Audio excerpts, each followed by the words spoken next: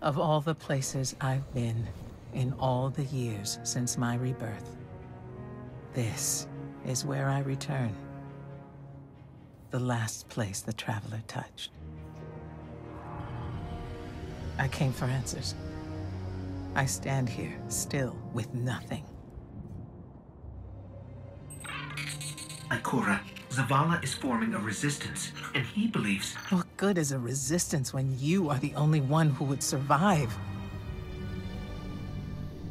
I believe this Ghaul creature knows the Traveler blessed this site. I believe he sent his legion to find something they could never possibly understand.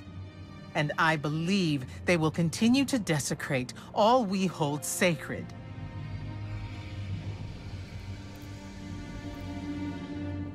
Save this place, Guardian.